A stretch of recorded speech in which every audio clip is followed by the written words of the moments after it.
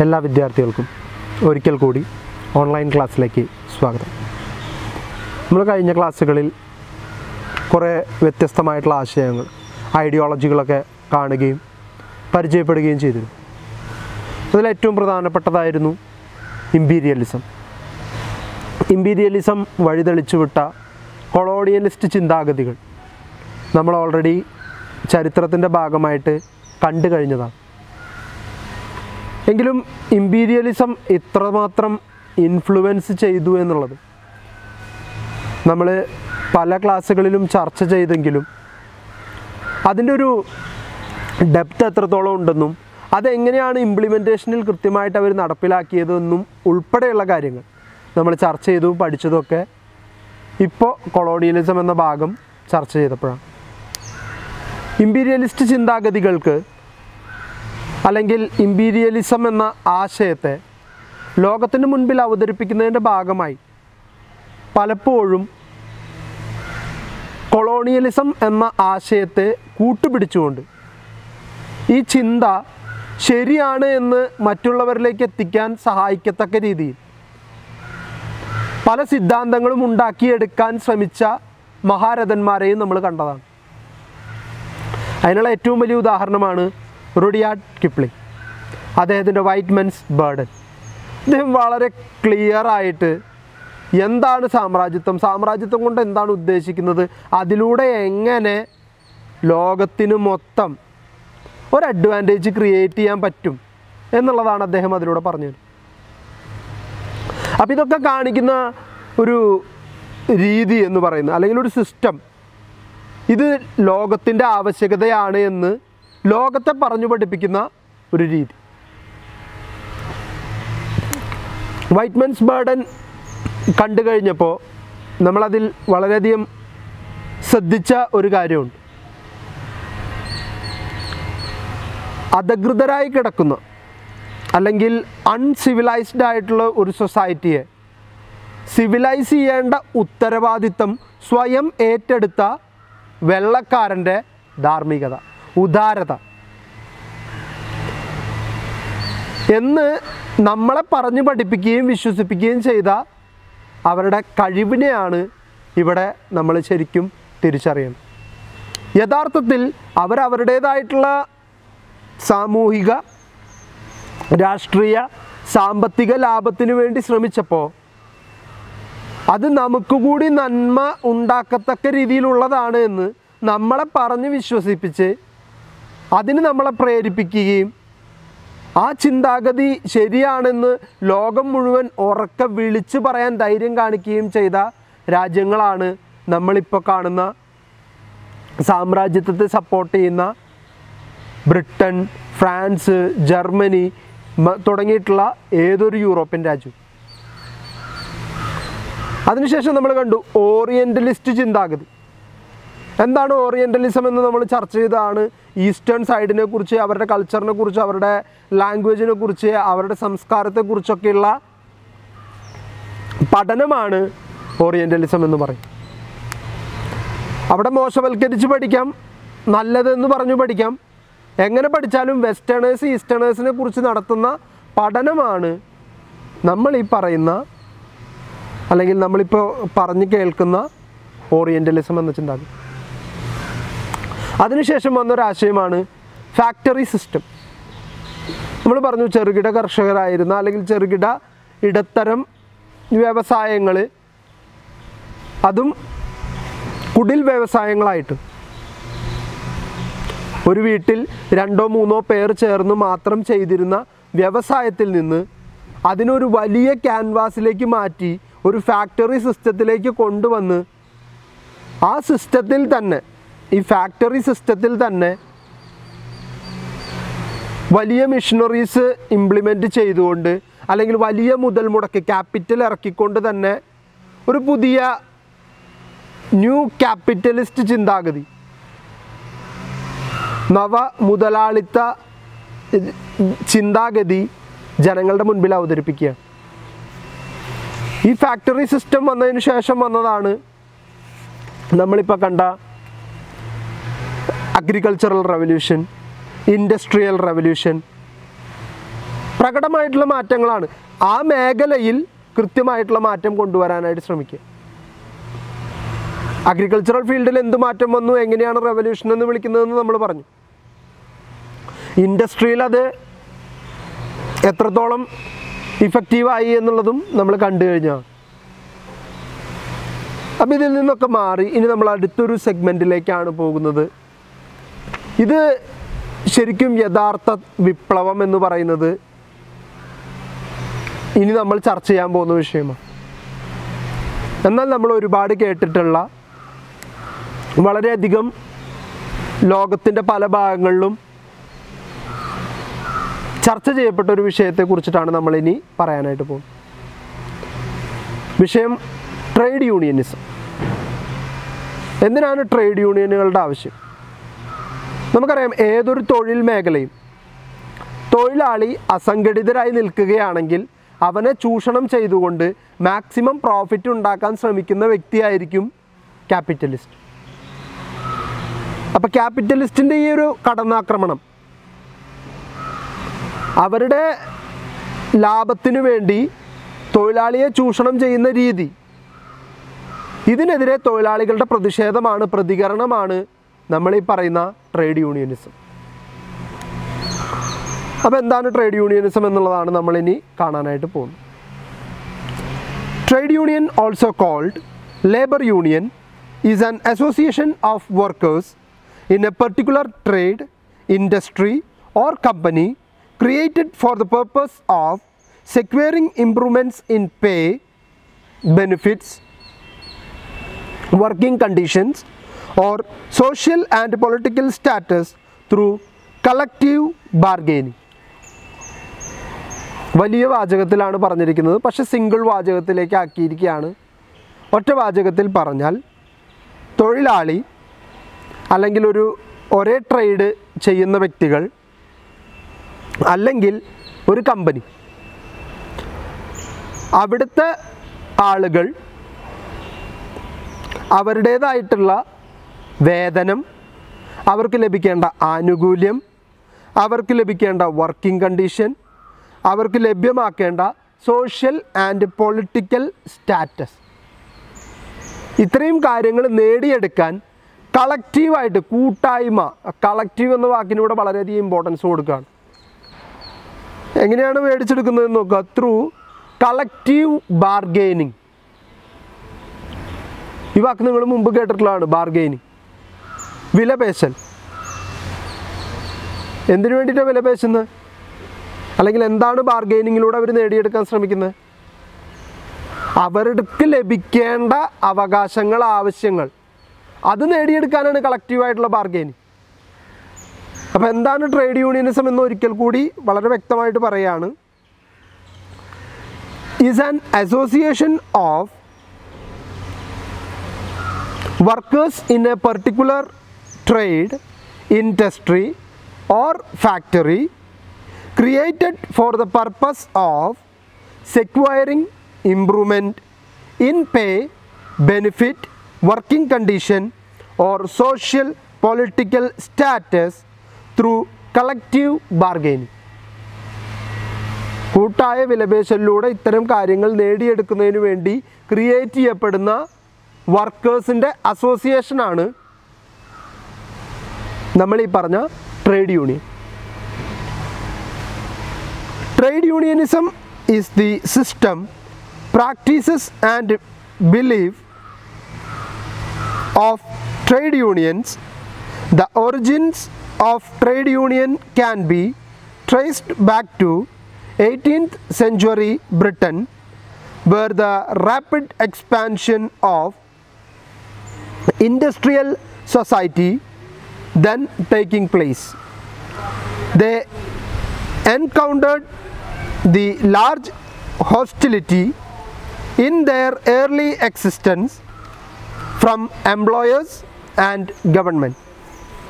At that time, unions and unionists were regularly prosecuted under various restraints of trade and company statutes.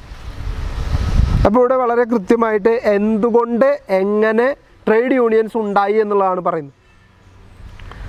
അപ്പോൾ ഇവിടെ നല്ല സാഹചര്യത്തിന് വേണ്ടി അല്ലെങ്കിൽ അവർക്ക് ലഭിക്കേണ്ട അവകാശങ്ങൾ ലഭിക്കുന്നതിന് വേണ്ടി ആളുകൾ മാനേജ്മെന്റുമായിട്ട് നിരന്തരമായിട്ടുള്ള തർക്കത്തിൽ ഏർപ്പെടാനും ഗവൺമെന്റുമായിട്ട് അതിനോട് പ്രതികരിക്കാനൊക്കെ തുടങ്ങിയപ്പോൾ അവരെ നിയമങ്ങളുടെ പേര് പറഞ്ഞ് അല്ലെങ്കിൽ പലതരത്തിലുള്ള ബുദ്ധിമുട്ടുകളെ മുൻനിർത്തിക്കൊണ്ട് അവരുടെ അവകാശങ്ങളെ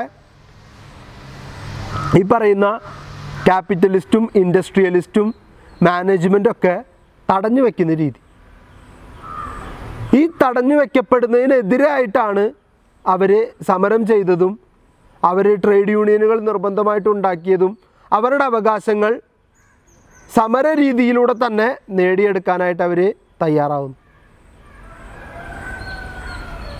The period of industrial revolution was the period of transformation.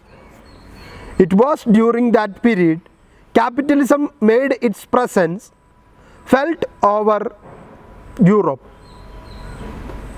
A vivid polarization of industrial society between two main classes capitalist and workers, was visible at that time. അപ്പോൾ ഇവിടുത്തെ ഏറ്റവും വലിയ പ്രശ്നം എന്ന് പറയുന്നത് സൊസൈറ്റിയെ രണ്ടായിട്ട് ഡിവൈഡ് ചെയ്ത് നിർത്തിയിരിക്കുകയാണ്. രണ്ട് ക്ലാസ് ആയിട്ട് മാറ്റി നിർത്തുക.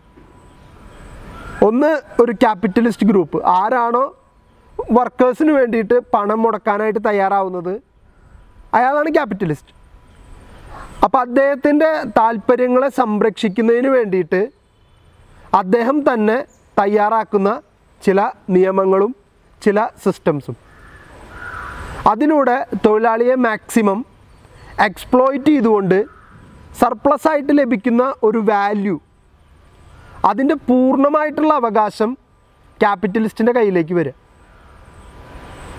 ഇതാണ് ശരിക്കും തൊഴിലാളി ക്യാപിറ്റലിസ്റ്റിനെതിരായിട്ട് ചിന്തിക്കാനുണ്ടായ പ്രധാന കാരണം. കാരണം തൊഴിലാളിക്ക് ലഭിക്കേണ്ടതാണ് സർപ്ലസ് വാല്യൂ എന്ന് പറയുന്നത്. ഒരു കമ്പനി വർക്ക് ചെയ്യുന്നതിൽ നിന്ന് ലഭ്യമാകുന്ന അളവിൽ കൂടുതൽ ആ കമ്പനി പ്രൊഡ്യൂസ് ചെയ്യുകയാണെങ്കിൽ ആ പ്രൊഡക്ഷന്റെ ബാക്കി വരുന്ന സർപ്ലസ് വാല്യൂ അത് തൊഴിലാളിക്ക് അവകാശപ്പെട്ടതാണ്. അത് കൊടുക്കാനും അത് അതിന്റെ ഒരു വിഹിതം അവർക്ക് വേണ്ടി മാറ്റിവെക്കാനും ക്യാപിറ്റലിസ്റ്റ് തയ്യാറാകാതിരുന്നപ്പോഴാണ് ട്രേഡ് യൂണിയനുകൾ എന്നുള്ള ഒരു ആശയം തന്നെ പൊട്ടിപ്പുറപ്പെടുന്നു. അപ്പോൾ ഇവിടെ രണ്ട് ക്ലാസ് ഉണ്ട്. ക്യാപിറ്റലിസ്റ്റ് എന്ന് പറയുന്ന ബൂർഷ എന്ന് വിളിക്കപ്പെടുന്ന ഒരു ഗ്രൂപ്പ് ഉണ്ട്. വർക്ക് ചെയ്യപ്പെടുന്ന അല്ലെങ്കിൽ ഇവരുടെ അടിമത്തത്തിന് കീഴിൽ അല്ലെങ്കിൽ ഇവരുടെ ഒരു എക്സ്പ്ലോയിറ്റേഷന് വിധേയരായി തീരുന്ന ഒരു പ്രോലിറ്റേറിയറ്റ് എന്ന് പറയുന്ന ഒരു വർക്കിംഗ് ക്ലാസ് ഇവിടെയുണ്ട് ഈ രണ്ട് ക്ലാസ്സും തമ്മിലുള്ള സ്ട്രഗിളാണ് ഈ രണ്ട് ക്ലാസ്സും തമ്മിലുള്ള കോൺഫ്ലിക്റ്റാണ് ഇവിടുത്തെ വിഷയം. രണ്ടു പേരുടെയും ആശയം ഒന്നാണെങ്കിൽ ഇവിടെ യാതൊരു പ്രശ്നവുമില്ല. കോൺഫ്ലിക്റ്റ് എന്ന് വെച്ചാൽ എന്താ? കോൺഫ്ലിക്റ്റ് എന്ന് വെച്ചാൽ ആശയ വൈരുദ്ധ്യം എന്നാണ് അർത്ഥം.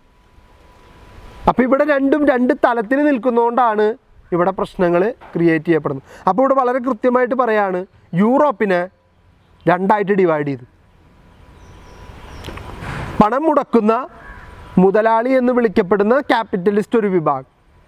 പണിയെടുക്കാൻ മാത്രം വേണ്ടി മാത്രം വിധിക്കപ്പെട്ട വർക്കേഴ്സ് എന്ന് വിളിക്കപ്പെടുന്ന ഒരു കോമൺ പീപ്പിളിന്റെ മറ്റൊരു വിഭാഗം. Actual production in factories was done by the workers but the received very low wages this wage was however not enough to keep them properly clothe or fed അപ്പോൾ ഇവിടെ ഞാൻ നേരത്തെ പറഞ്ഞു ഒരു ഫാക്ടറിയിൽ ഉൽപ്പാദിപ്പിക്കപ്പെടുന്ന ഏതൊരു പ്രോഡക്റ്റിന്റെയും നാലിലൊന്ന് അവകാശം ആർക്കുള്ളതാണ്? തൊഴിലാളിക്കുള്ളതാണ്. ഞാൻ ആദ്യമേ പറഞ്ഞിരുന്നു കുറച്ച് ക്ലാസ്സുകൾ മുൻപേ പറഞ്ഞിരുന്നു. നാല് ഘടകങ്ങൾ കൂടിച്ചേരുന്നതാണ് ഒരു production factors of production land labour capital entrepreneur അപ്പോൾ ഒരു മൊത്തം പ്രൊഡക്ഷന്റെ നാലിലൊന്ന് ലേബർക്ക് അവകാശപ്പെട്ടതാണ്. പിന്നെയുള്ളത് ലാൻഡും ക്യാപിറ്റലാണ് രണ്ടും ഒരാൾ തന്നെയായിരിക്കും. ഈ പണം മുടക്കിയ ആൾ തന്നെയാണ് ലാൻഡ് മേടിച്ചിട്ടുണ്ടായിരിക്കുക. പിന്നെ എന്തുകൊണ്ട് അതിന് വേറൊരു കാറ്റഗറി ആയിട്ട് തിരിച്ചിരിക്കുന്നു എന്ന് വെച്ചാൽ അഗ്രികൾച്ചറൽ സെക്ടറിൽ അത് ചിലപ്പോൾ വ്യത്യാസം ഉണ്ടാവും. നിങ്ങൾ പണ്ടത്തെ ഒരു ജമീന്ദാരി സിസ്റ്റം മാനോറിയൽ സിസ്റ്റം ഒക്കെ പഠിച്ചിട്ടുണ്ടായിരിക്കും. അതിൽ കണ്ടിട്ടുണ്ടായിരിക്കും. രാജാവ് അദ്ദേഹത്തിന് ഇഷ്ടപ്പെട്ട ലോഡ്സിന് ഭൂമി പതിച്ചു കൊടുക്കുന്നു. ലോഡ്സ് അത് പാട്ടത്തിന് ടെനന്റ് ഇൻ ചീഫിന് കൊടുക്കുന്നു. അദ്ദേഹം സബ് ടെനൻസിന് കീഴിൽ വെച്ചിട്ട് അവരെ കൊണ്ട് ഏൽപ്പിച്ചു കൊടുത്തിട്ട് അതിൽ നിന്ന് പൈസ ഉണ്ടാക്കും. സബ് ടെനൻസ് ആണ് സാധാരണ ആളുകളെ വിളിച്ച് പണിയെടുപ്പിച്ച് എന്ത് ചെയ്യുന്നത്? ആ ബിസിനസ്സിൽ നിന്ന് ആ കൃഷിയിൽ നിന്ന് ലാഭം ഉണ്ടാക്കുന്നു. അപ്പോൾ ഇവിടെ ലാൻഡ് എന്ന് പറയുന്നത് രാജാവിന്റെ അൾട്ടിമേറ്റ് ആ ഓണർ രാജാവാണ് പക്ഷേ ഇവിടെ ക്യാപിറ്റൽ മുടക്കിയത് ആരാ? ക്യാപിറ്റൽ മുടക്കിയത് ടെനന്റ് ഇൻ ചീഫാ അവിടുന്ന് എന്റർപ്രണറായിട്ട് പ്രവർത്തിക്കുന്ന വ്യക്തിയാണ് സബ് ടെനന്റ് കാരണം അയാളാണ് ഇതിനൊക്കെ കൂട്ടി യോജിപ്പിക്കുന്നത് പിന്നെ അവിടെയുള്ളത് ലേബറാണ് എന്നിട്ടും നാലിലൊന്ന് ലേബർക്ക് കൊടുക്കാൻ തയ്യാറാകാത്ത ഒരു വിഭാഗത്തിനെതിരെയുള്ള പ്രതിഷേധമാണ് ട്രേഡ് യൂണിയനുകൾ ഉണ്ടാവാനുള്ള പ്രധാന കാരണം. ഒരു കമ്പനിയുടെ ലാഭം ആയിരം രൂപയാണെങ്കിൽ അതിൽ ഇരുന്നൂറ്റമ്പത് രൂപ ലേബേഴ്സിന് അവകാശപ്പെട്ടതാണ്. പക്ഷെ ഇവിടെ ക്യാപിറ്റലിസ്റ്റ് പറയുന്നു ആയിരം രൂപ ലാഭം ഉണ്ടെങ്കിൽ ആ ആയിരം രൂപയുടെ ലാഭവും ആർക്കുള്ളതാണ്? ക്യാപിറ്റലിസ്റ്റിന് മാത്രമുള്ളതാണ്. അപ്പോൾ ഫാക്ടേഴ്സ് ഓഫ് പ്രൊഡക്ഷനിലേക്ക് പ്രോഫിറ്റ് ഡിവൈഡ് ചെയ്യപ്പെടുന്നില്ല. ഇതാണ് ഇവിടുത്തെ ഏറ്റവും വലിയ പ്രശ്നം. അപ്പോൾ ഇവർക്ക് കിട്ടുന്ന തുച്ഛമായ ശമ്പളം കൊണ്ട് ഇവർക്ക് വസ്ത്രം ധരിക്കാനോ ഭക്ഷണം കഴിക്കാനോ പോലും തികയാത്തൊരു സാഹചര്യം രാജ്യത്ത് ഉടലെടുക്കുകയാണ്. The workers were forced to live in urban slums the proletariat had no property land house, equipments, or capital. They were under the mercy of capitalists. ഇവിടെ പണിയെടുക്കുന്നവനെ കൃത്യമായിട്ട് ചൂഷണം ചെയ്യാണ് അവന് സ്വന്തമായിട്ടൊരു തുണ്ട് ഭൂമിയില്ല വീടില്ല പ്രോപ്പർ സാനിറ്റേഷൻ ഫെസിലിറ്റി ഇല്ല അവന് വിശ്രമിക്കാനും അവന് ആനന്ദവേളകൾ ആസ്വദിക്കാനും അവസരം ലഭിക്കാതിരിക്കുക അവന് ക്യാപിറ്റൽ ഉണ്ടാക്കാനില്ലാതിരിക്കുക ക്യാപിറ്റൽ ഉണ്ടാക്കണമെങ്കിൽ പൈസ വേണ്ടേ?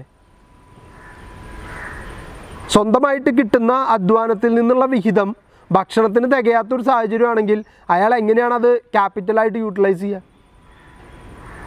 അപ്പോൾ എന്നും പണിയെടുക്കുന്ന വിഭാഗമായിട്ട് നിൽക്കുന്നവൻ പണിയെടുക്കുന്നവനായിട്ട് മാത്രം മാറുന്നൊരു സാഹചര്യം ഇംഗ്ലണ്ടിൽ ക്രിയേറ്റ് ചെയ്യപ്പെടാൻ തുടങ്ങി. The new wealth produced by advanced technology chiefly went to inflate to the economic power and wealth of the capitalist so the gulf between the rich and poor widen gulf എന്ന് വെച്ചാൽ എന്താ?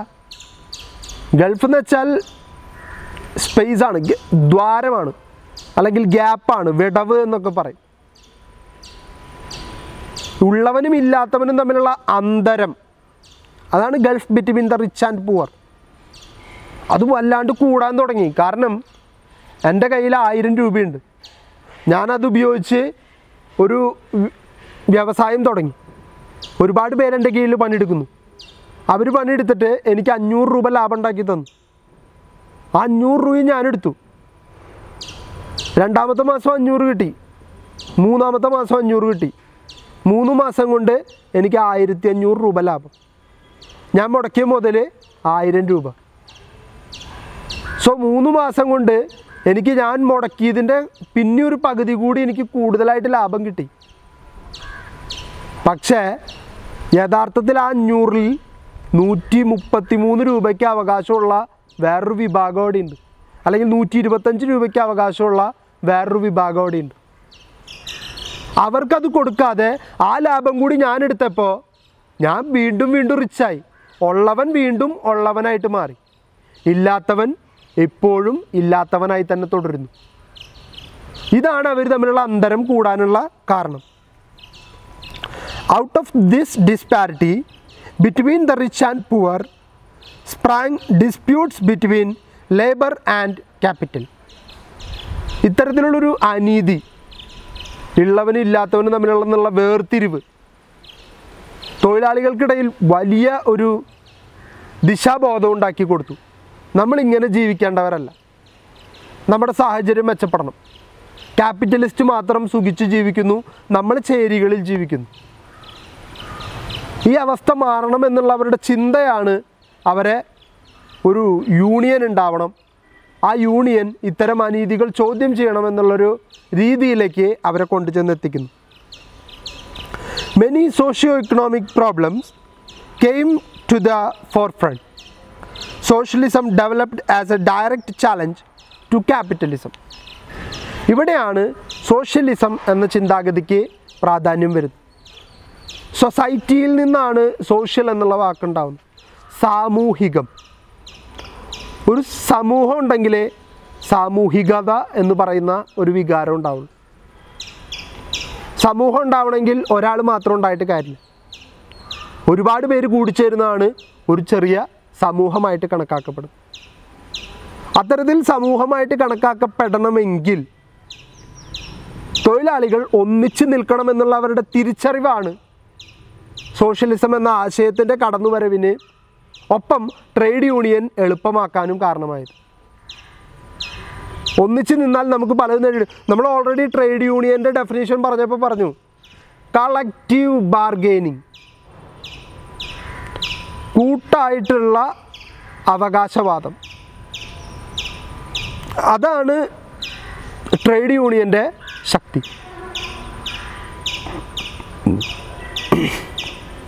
Socialist ideologies encouraged the working class to form organisation and protest against the exploitation of the capitalist ഇപ്പോൾ socialist ചിന്താഗതി കടന്നു വന്നതോടുകൂടി എനിക്കൊന്നുണ്ടെങ്കിൽ നിനക്കും ഒന്നുണ്ടായിരിക്കണം എന്നുള്ള ചിന്ത. ആ ആശയത്തിൽ നിന്ന് ഉടലെടുത്ത പുതിയ ദിശാബോധം. പണിയെടുക്കുന്ന വർക്കിംഗ് ക്ലാസ്സിന് ഒരു പുതിയ ഉന്നമനത്തിന് കാരണമായി തീർന്നു. അവർക്ക് മനസ്സിലായി. ക്യാപിറ്റലിസ്റ്റ് വീട്ടിൽ താമസിക്കുകയാണെങ്കിൽ ഞാൻ വീട്ടിൽ താമസിക്കണം. ക്യാപിറ്റലിസ്റ്റ് ഒരു നേരം ഭക്ഷണം കഴിക്കുന്നുണ്ടെങ്കിൽ ഞാൻ ഒരു നേരം ഭക്ഷണം കഴിക്കണം. പക്ഷേ അയാൾ മൂന്ന് നേരം കഴിക്കുന്നുണ്ടെങ്കിൽ ആ മൂന്ന് നേരം ഭക്ഷണം കഴിക്കാനുള്ള അവകാശം പണിയെടുക്കുന്ന എനിക്കുമുണ്ട്. എന്നുള്ള തൊഴിലാളിയുടെ തിരിച്ചറിവാണ് ട്രേഡ് യൂണിയൻ പ്രസ്ഥാനങ്ങൾ തുടങ്ങാനുള്ള പ്രധാനപ്പെട്ട മറ്റൊരു കാരണം.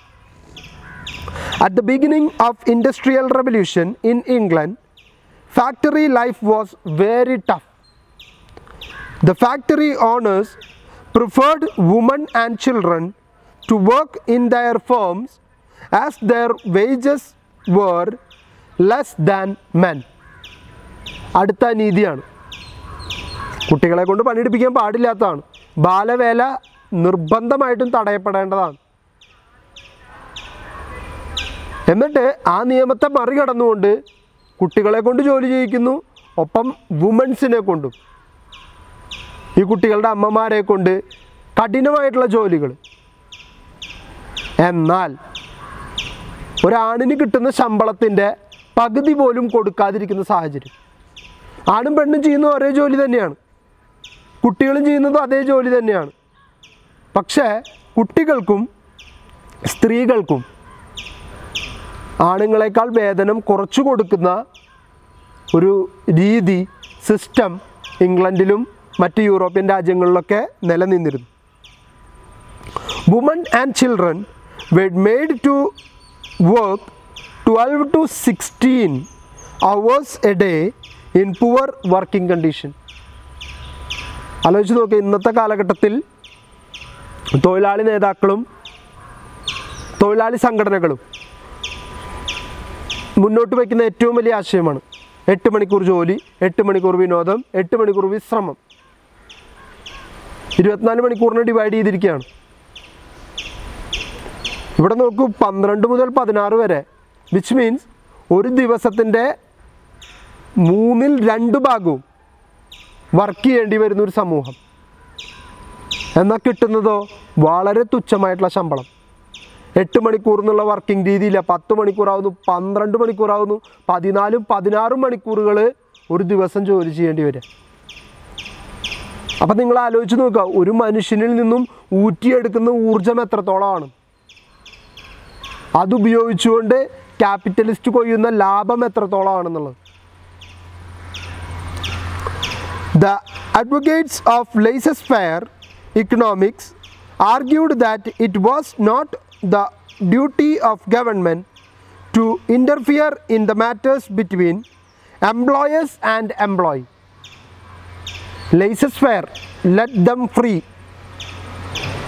എന്ന് പറയുന്ന ആശയത്തിന്റെ വക്താക്കളായിട്ടുള്ള എല്ലാ ഇക്കണോമിസ്റ്റുകളും ഒരുപോലെ പറഞ്ഞ കാര്യമാണ്. തൊഴിലാളിയും മുതലാളിയും തമ്മിലുള്ള പ്രശ്നത്തിൽ രാജ്യത്തെ ഗവൺമെന്റ് കയറി ഇടപെടേണ്ട കാര്യമില്ല. അവർ തമ്മിലുള്ള പ്രശ്നം അവർ തമ്മി തമ്മി പറഞ്ഞു തീർത്തോളൂ.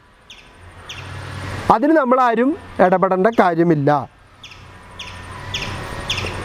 The combination act of seventeen ninety nine prohibited the formation of trade unions in England അതുകൊണ്ട് തന്നെ മുതലാളിമാരെ സംരക്ഷിക്കാൻ വേണ്ടി ആയിരത്തി എഴുന്നൂറ്റി തൊണ്ണൂറ്റി ഒൻപതിൽ കോമ്പിനേഷൻ ആക്ട് എന്ന് പറഞ്ഞൊരു ആക്ട് തീരുമാനിച്ച് ഇറക്കി.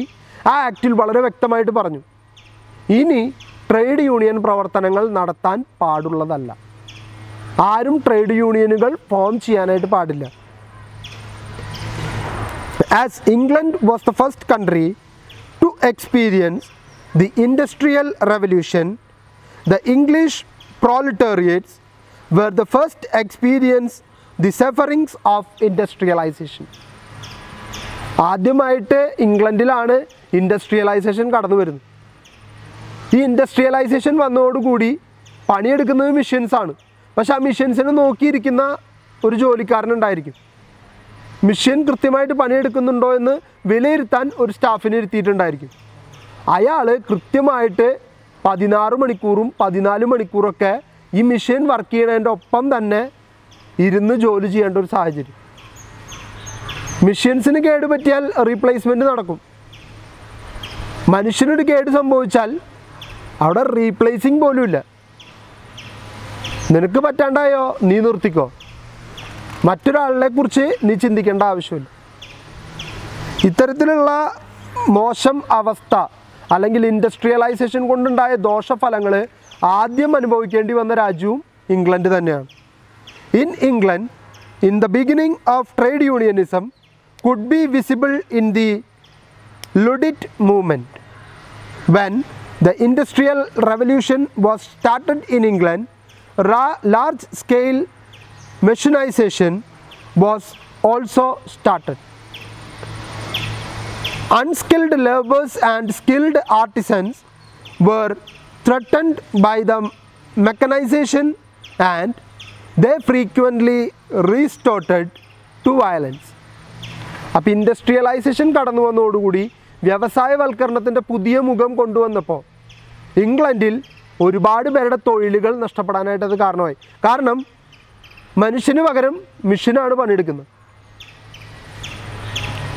അപ്പം മിഷന് മണിക്കൂറുകളോളം വർക്ക് ചെയ്യാൻ ഊർജം ഉണ്ടായാൽ മതി. ഐ മീൻ പവർ പോലെയുള്ള ഊർജം ഏതെങ്കിലും ലഭിച്ചാൽ മതി. പക്ഷെ അതേസമയം മനുഷ്യന്റെ അവസ്ഥ അതല്ല. കൃത്യമായിട്ട് വിശ്രമവും കൃത്യമായിട്ട് വിനോദവും ഒക്കെ കിട്ടിയില്ലെങ്കിൽ അയാൾക്കത് വളരെ വലിയൊരു ബേർഡൻ ക്രിയേറ്റ് ചെയ്യപ്പെടും.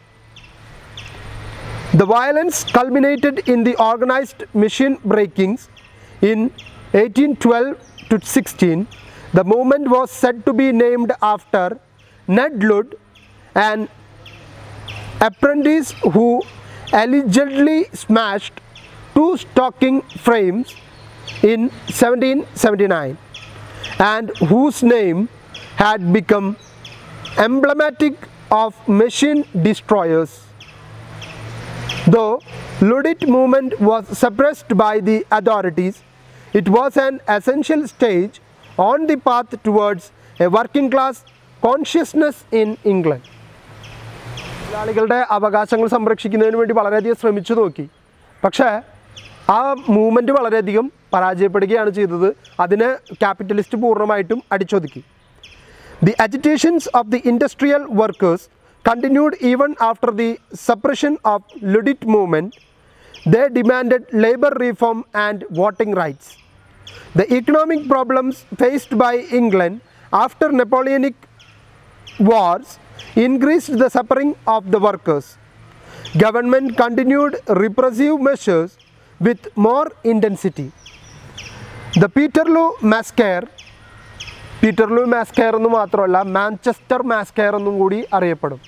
ജാലിയൻ വാലാബാഗ് മാസ്കെയർ എന്ന് നിങ്ങൾ കേട്ടിട്ടുണ്ടായിരിക്കും. കൂട്ടക്കൊലയാണ്. പ്രതിഷേധിക്കുന്ന ആൾക്കാരെയൊക്കെ പൂട്ടിയിട്ട് വെടിവെച്ച് കൊല്ലുന്ന ഒരവസ്ഥ. അതാണ് പീറ്റർ പീറ്റർലൂ മാസ്കെയർ എന്ന് പറയും. ഈ പീറ്റർലൂ എന്ന് പറയുന്നത് മാഞ്ചസ്റ്ററിലുള്ള ഒരു പ്ലേസാണ് of എയ്റ്റീൻ നയൻറ്റീൻ ആയിരത്തി എണ്ണൂറ്റി പത്തൊൻപത് പീറ്റർലൂ മാസ്കെയർ was an outcome of the government policy. It was took place at St. Peter's Field, Manchester on Monday 16 August 1819 when cavalry charged into a crowded of perhaps up to 60,000 people who had gathered to demand the reform of parliamentary representation. എല്ലാവർക്കും ഇലക്ഷനിൽ തുല്യ പ്രാധാന്യം നൽകണം parliamentary representation അനുവദിക്കണം എന്നാവശ്യപ്പെട്ട അറുപതിനായിരത്തോളം ആളുകൾ കൂടിച്ചേർന്ന ഒരു ഗ്രൂപ്പിന്റെ ഇടയിലേക്ക് സൈന്യം ഇടിച്ചു കയറുകയും അവരെ മുഴുവൻ കൊന്നുകളയുകയും ചെയ്ത സംഭവമാണ് പീറ്റർലു മാസ്കയർ അഥവാ മാഞ്ചസ്റ്റർ മാസ്കയർ എന്ന് അറിയപ്പെടും വളരെ ദയനീയമായിട്ടുള്ള ഒരു അവസ്ഥ വോട്ടവകാശത്തിന് വേണ്ടി ശബ്ദമുയർത്തിയ ആളുകളെ കൊന്നൊടുക്കിയ സംഭവമാണ് Manchester massacre. The meeting was organised by Manchester patriotic union and addressed by well known radical orator Henry Hunt the indiscriminate firing of troops killed eleven workers and injured many others അപ്പോൾ ഇവർക്കെതിരെ സൈന്യം ഇടിച്ചു കയറി അവരെയൊക്കെ നിലംപരിശാക്കിയെങ്കിലും പതിനൊന്ന് പേരെ മരിച്ചുള്ളൂ. പക്ഷെ ഒരുപാട് പേർക്ക് വളരെ ഗുരുതരമായിട്ടുള്ള പരിക്ക് പറ്റാനത് കാരണമായി. അപ്പോൾ ഇവിടെ ഒരു പാട്രിയോട്ടിക് റാഡിക്കൽ ഒറേറ്ററുടെ പേര് പറഞ്ഞിട്ടുണ്ട്. Henry Hunt. അദ്ദേഹത്തിന്റെ നേതൃത്വത്തിലാണ് മീറ്റിംഗ് മാഞ്ചസ്റ്ററിൽ നടക്കുന്നത്. The incident was described as by the press as Peterloo massacre in ironic references to Waterloo as it was took place in St. Peter's Field. Waterloo എന്ന് പറഞ്ഞിട്ടൊരു യുദ്ധം നെപ്പോളിയന്റെ സമയത്ത് നമ്മൾ കണ്ടിട്ടുണ്ട് അതിനെ ഒരു സിമ്പത്തറ്റിക് ആയിട്ട് എടുത്തിട്ടാണ് അല്ലെങ്കിൽ ഒരു സിംപ്ലിഫൈ ചെയ്തിട്ടാണ് സെന്റ് പീറ്റേഴ്സ് ഫീൽഡിൽ നടന്ന ഈ ഒരു കൂട്ടക്കൊലയെ പീറ്റർ ലൂ എന്ന് അവർ എന്താ പറയുക പ്രാസമൊപ്പിച്ചുകൊണ്ട് പറയുന്നു. The Manchester incident helped to develop public opinion in favour of the working class issues and parliamentary reforms. പക്ഷേ ഈ സംഭവം കൊണ്ടൊരു വലിയ നേട്ടം ഉണ്ടായി വർക്കിംഗ് ക്ലാസ്സിന് അവരുടെ ഇഷ്യൂസ് എന്താണെന്ന് ലോകത്തിന് മുൻപിൽ തുറന്നു പറയാനും അതുപോലെ തന്നെ ചില പാർലമെന്ററി റീഫോംസിന് ഈ ഇൻസിഡന്റ് ഒരു കാരണമായി തീർന്നു. The combination act of eighteen twenty four was an indirect result of the Luddite movement and the Manchester massacre Luddite മൂവ്മെന്റിലൂടെയും Manchester മെസ്ക്വയറിലൂടെയും അവരാവശ്യപ്പെട്ടതിന്റെ വെളിച്ചത്തിലാണ് ആയിരത്തി എണ്ണൂറ്റി ഇരുപത്തിനാലിൽ പുതിയ കോമ്പിനേഷൻ ആക്ട് പുറത്തു വരുന്നു. The act repealed all previous statutes concerning trade unions and declared that trade unions would no longer be treated as illegal അപ്പോൾ ആദ്യം പറഞ്ഞിരുന്നത് ട്രേഡ് യൂണിയൻസ് ഒക്കെ ഇല്ലീഗൽ ആണെന്നാണ് ആയിരത്തി എഴുന്നൂറ്റി തൊണ്ണൂറ്റൊൻപതിലെ ഫസ്റ്റ് കോമ്പിനേഷൻ ആക്റ്റിൽ പറഞ്ഞു എന്നാൽ ആയിരത്തി എണ്ണൂറ്റി ഇരുപത്തിനാലിൽ പറയുന്നു ഒന്നും ഇല്ലീഗൽ അല്ല. ട്രേഡ് യൂണിയനുകൾ തൊഴിലാളികളുടെ അവകാശമാണ്. The combination act of eighteen twenty five further enhanced the legality of trade unions but still certain restrictions were there Until the passing of the Combination Act of 24 and 25, trade unions had been operating secretly. Hereafter, they were allowed to negotiate openly with employer regarding the wages and services conditions of workers. അപ്പോൾ ആയിരത്തി എണ്ണൂറ്റി ഇരുപത്തിനാലിലും ഇരുപത്തഞ്ചിലും ഓരോ combination act പാസ്സാക്കി ഈ act പാസ്സാക്കുന്നതിന് മുൻപ് വരെ trade യൂണിയൻസൊക്കെ വളരെ രഹസ്യമായിട്ടാണ് നടന്നു പോയിരുന്നത്. കാരണം പുറത്തറിഞ്ഞാൽ അവർക്ക് വളരെ ഗുരുതരമായിട്ടുള്ള ശിക്ഷണ നടപടികൾ ലഭിക്കും അതുകൊണ്ടാണ് ആരോടും പറയാതെ അവർ ഒളിച്ചിരുന്ന് പ്രവർത്തനങ്ങൾ നടത്തേണ്ടി വന്നത്. ദെൻ ഇവരുടെ ഈ ഒരു ട്രേഡ് യൂണിയൻ എന്നുള്ള അവകാശത്തിലൂടെയാണ് തൊഴിലാളിക്ക് ലഭ്യമാവേണ്ട പരിമിതമായിട്ടുള്ള സൗകര്യങ്ങളെക്കുറിച്ച് വരെ അല്ലെങ്കിൽ അവന് ലഭിക്കേണ്ട ആനുകൂല്യങ്ങളെക്കുറിച്ച് അവൻ ബോധവാനാവാനായിട്ട് തുടങ്ങിയത്. The first attempt at setting up a national general union were made in eighteen twenty and thirties the national association for the protection of labour was established in eighteen thirty by John Dorothy John Dorothy എന്നൊരു വ്യക്തിയുടെ നേതൃത്വത്തിലെ ആയിരത്തി എണ്ണൂറ്റി മുപ്പതിൽ അവരുടെ ഏറ്റവും വലിയ ആവശ്യം national association for the protection of labour. തൊഴിലാളിയുടെ സംരക്ഷണത്തിന് വേണ്ടി ഒരു നാഷണൽ കൗൺസിലിന് രൂപം കൊടുത്തു. The association quickly enrolled approximately one fifty unions consisting most of the textile related unions but also including mechanic blacksmith and various others. Membership rose to between 10,000 to 20,000 individuals spread across five counties of Lancashire, Cheshire, Derbyshire, Nottinghamshire, and Leicestershire within a year. അപ്പോൾ trade യൂണിയന്റെ ഒരു വളർച്ചയാണ് പറയുന്നത് ഒരു വർഷം കൊണ്ട് പതിനായിരത്തിൽ നിന്ന് ഇരുപതിനായിരം ആളുകളിലേക്ക് നൂറ്റമ്പതോളം ട്രേഡ് യൂണിയനുകൾ ആരംഭിക്കാനായിട്ടത് കാരണമായി. മെയിനായിട്ട് ടെക്സ്റ്റൈൽ മേഖലയിൽ. ഇംഗ്ലണ്ടിലെ പ്രധാനപ്പെട്ട അഞ്ച് കൗണ്ടികളിലും ട്രേഡ് യൂണിയനുകളുടെ ഒരു അതിപ്രസരം അല്ലെങ്കിൽ കൃത്യമായിട്ടുള്ള ഇടപെടൽ ഉണ്ടാവാനായിട്ട് തുടങ്ങി. To establish awareness and legitimacy the union started weekly Voice of the people publication. ഇപ്പം ജനങ്ങളിലേക്ക് എത്തിക്കാനായിട്ട് നമ്മൾ ഇന്ത്യൻ സ്വാതന്ത്ര്യ സമരത്തിലൊക്കെ കണ്ടിട്ടുണ്ടായിരിക്കും. ജവഹർലാൽ നെഹ്റു മഹാത്മാഗാന്ധി ബാലഗംഗാധർ തിലക് ഗോപാലകൃഷ്ണ ഗോഖലെ ഇങ്ങനെ തുടങ്ങി ഒരുപാട് പേര്. അവരുടെ ആശയങ്ങൾ ജനങ്ങളിലേക്ക് എത്തിക്കുന്നതിനുള്ള എളുപ്പമാർഗമായിട്ട് തിരഞ്ഞെടുത്തത് പബ്ലിക്കേഷനുകളെയാണ് പ്രത്യേകിച്ച് ന്യൂസ് പേപ്പർ എന്നാൽ ഈ അസോസിയേഷന്റെ പ്രവർത്തനങ്ങളെ ജനങ്ങളിലേക്ക് എത്തിക്കുന്നതിന് വേണ്ടി മാത്രം അവരിറക്കിയ പുസ്തകത്തിന്റെ പേരാണ് വീക്കിലിയാണ് വോയിസ് ഓഫ് ദി പീപ്പിൾ ജനങ്ങളുടെ ശബ്ദം. എന്ന പേരിൽ ഒരു പുസ്തകം തയ്യാറാക്കിയവർ ഇറക്കാൻ തീരുമാനിച്ചു. In eighteen thirty four the Welsh socialist Robert Owen established the grand national consolidated trade union വളരെ ഇമ്പോർട്ടന്റ് ആയിട്ടുള്ള പേര്.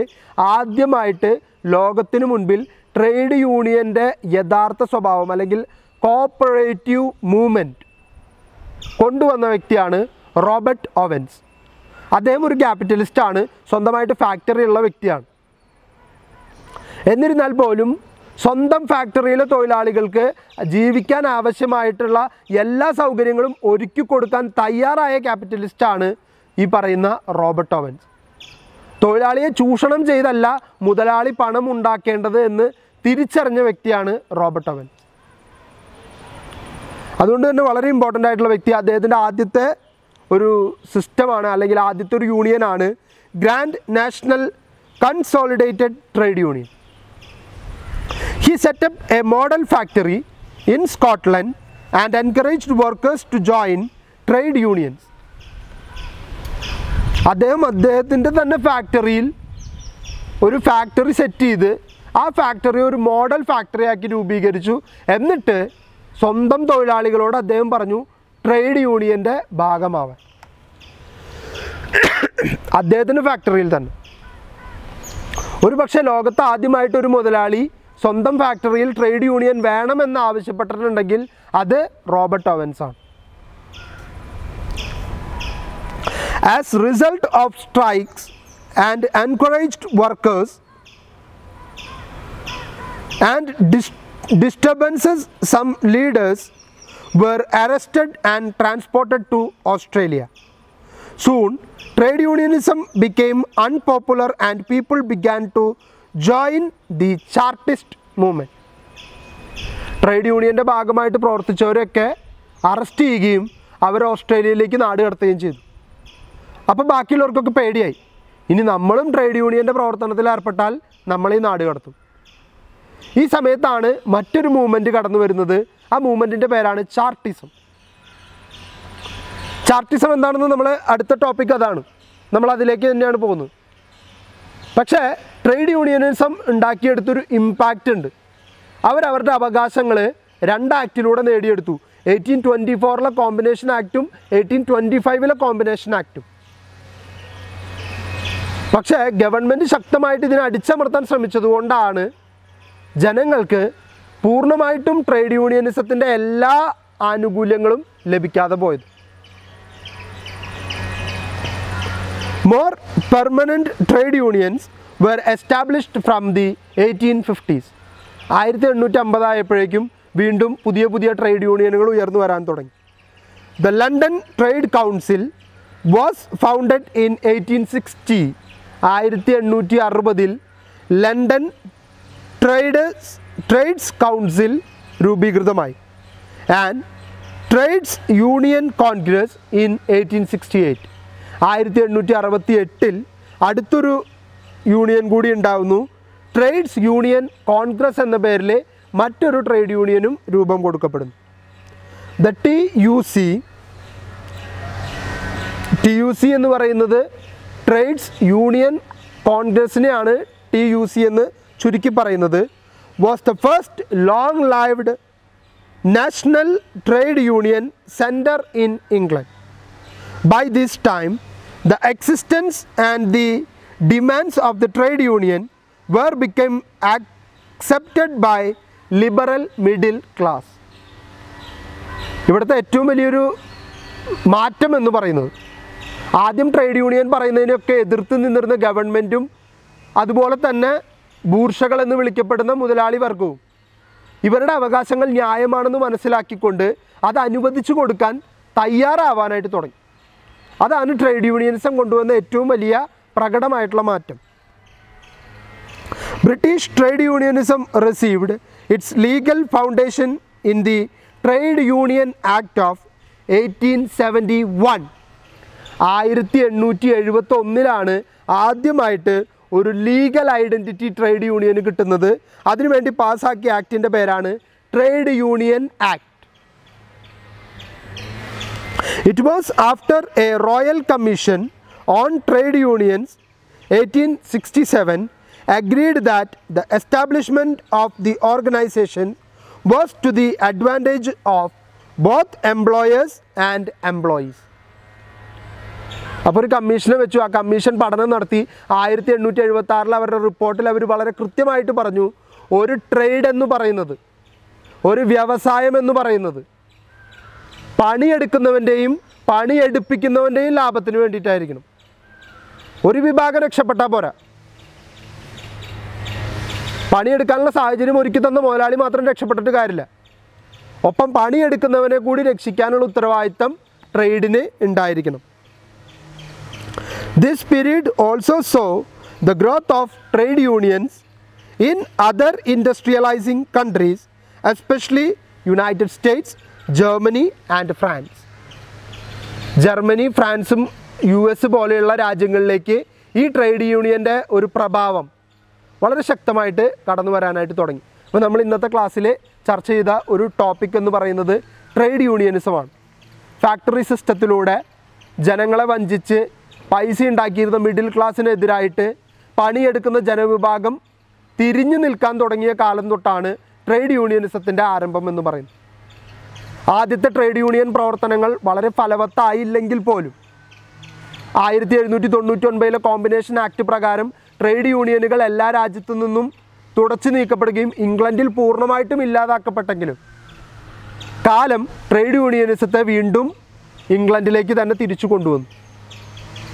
അവരുടെ ശക്തമായിട്ടുള്ള ഇടപെടൽ അടിച്ചമർത്താൻ ഗവൺമെന്റ് സ്വീകരിച്ച മാർഗം അവരുടെ മീറ്റിങ്ങിലേക്ക് ഇരച്ചു കയറുക എന്നുള്ളതായിരുന്നു. അങ്ങനെ പതിനൊന്നോളം ആളുകൾ മരിക്കാനും ഒരുപാട് പേർക്ക് ഇഞ്ചുറീസ് സംഭവിക്കാനും ഇടയായ സംഭവമാണ് മാഞ്ചസ്റ്റർ മാസ്കെയർ അഥവാ പീറ്റർലൂ മാസ്കെയർ എന്നറിയപ്പെടുന്നു ഈ ഇൻസിഡന്റിന് ശേഷം ഗവൺമെന്റ് തൊഴിലാളികളുടെ അവകാശങ്ങളെക്കുറിച്ച് ബോധവാന്മാരാവുകയും അതിന്റെ ഭാഗമായി ആയിരത്തി എണ്ണൂറ്റി ഇരുപത്തി നാലിൽ ഫസ്റ്റ് കോമ്പിനേഷൻ ആക്ട് പുറപ്പെടുവിക്കുകയും ആ ആക്ട് പ്രകാരം ട്രേഡ് യൂണിയൻ പ്രവർത്തനങ്ങൾ നടത്താനുള്ള അനുമതി കൊടുക്കുകയും ചെയ്തു. ആയിരത്തി എണ്ണൂറ്റി ഇരുപത്തി അഞ്ചിൽ സെക്കൻഡ് കോമ്പിനേഷൻ ആക്ടിലൂടെ ഇതിന് ഒരു ലീഗൽ ഐഡന്റിറ്റി കൊടുത്തു ട്രേഡ് യൂണിയനിസത്തിന് അതുവരെ ഒളിച്ചും പാത്തും മാത്രം ട്രേഡ് യൂണിയനിസം പ്രവർത്തനങ്ങൾ നടത്തിയിരുന്നവർ പിന്നീട് ഓപ്പണായിട്ട് ട്രേഡ് യൂണിയനിസം പ്രവർത്തനത്തിലേക്ക് കടന്നു വരാനും പക്ഷേ ആയിരത്തി എണ്ണൂറ്റി മുപ്പതുകളോടടുപ്പിച്ച് ട്രേഡ് യൂണിയൻ പ്രവർത്തനത്തിൽ ഏർപ്പെടുന്ന തൊഴിലാളികളെ നാട് കടത്തുകയും ഓസ്ട്രേലിയയിലേക്ക് പറഞ്ഞയക്കുകയും ചെയ്തപ്പോൾ അതിൽ പേടിച്ച് പലരും ട്രേഡ് യൂണിയൻ പ്രവർത്തനങ്ങൾ നിർത്തിവെക്കുകയും ആയിരത്തി എണ്ണൂറ്റി അമ്പതോടുകൂടി വീണ്ടും പുത്തൻ ഉണർവോടെ ട്രേഡ് യൂണിയൻ പ്രവർത്തനങ്ങൾ ഇംഗ്ലണ്ടിൽ പുനരാരംഭിക്കപ്പെടുകയും ചെയ്തു. ആയിരത്തി എണ്ണൂറ്റി അമ്പതിൽ ആരംഭിച്ച ട്രേഡ് യൂണിയൻ പ്രവർത്തനത്തിൽ പതിനായിരങ്ങളും ഇരുപതിനായിരങ്ങളും പല കൗണ്ടികളിൽ നിന്ന് വന്നു ചേരുകയും ആയിരത്തി എണ്ണൂറ്റി മുപ്പത്തിനാലിൽ റോബർട്ട് ഒവൻസ് അദ്ദേഹത്തിന്റെ നേതൃത്വത്തിൽ ഒരു ഫാക്ടറി സെറ്റപ്പ് ചെയ്യുകയും അവിടെ ആദ്യമായിട്ട് ട്രേഡ് യൂണിയൻ പ്രവർത്തനങ്ങൾ ജനങ്ങൾക്ക് പരിചയപ്പെടുത്തുകയും ചെയ്തു. ആയിരത്തി എണ്ണൂറ്റി അറുപത്തി എട്ടിലും ആയിരത്തി എണ്ണൂറ്റി അറുപതിലും രണ്ട് ട്രേഡ് യൂണിയൻ സംഘടനകൾ ഇംഗ്ലണ്ടിൽ രൂപമെടുക്കുകയും അവയുടെ പ്രവർത്തന ഫലമായിട്ട് ജനങ്ങളുടെ ആവശ്യങ്ങൾ ഗവൺമെന്റും ക്യാപിറ്റലിസ്റ്റും തിരിച്ചറിയുകയും അത് നടപ്പിലാക്കാൻ വേണ്ട അനുകൂലമായിട്ടുള്ള തീരുമാനങ്ങൾ എടുക്കാൻ കാരണമാവുകയും ചെയ്തു. അപ്പോൾ എല്ലാവരും നന്നായിട്ട് പഠിക്കുക. കൊറോണ വൈറസിനെതിരെ പൊരുതുക. ഒപ്പം വീട്ടിൽ തന്നെ ഇരുന്നു കൊണ്ട് നിങ്ങളുടെ പഠനം നല്ല രീതിയിൽ മുന്നോട്ട് കൊണ്ടുപോകാം. താങ്ക്